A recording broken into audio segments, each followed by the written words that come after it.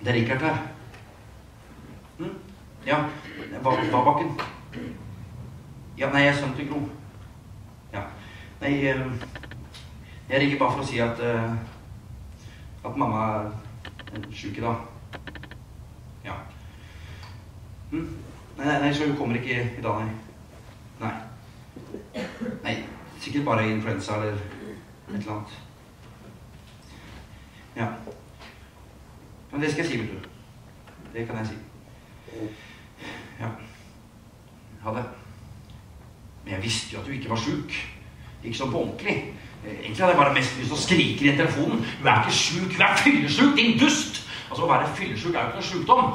Hvorfor, kan, ikke- du, hvorfor hører ikke du at jeg ljuger? Hvorfor kan ikke du ta og snakke med? Kan ikke du bare ta og, og forlange at du skal pelle seg på jobben? Hva sier du skal! Skal, skal, skal! Jeg sa jo ikke det. Jeg er snill gutt. Dumsnill gutt som hater pappvin, ljug og dans.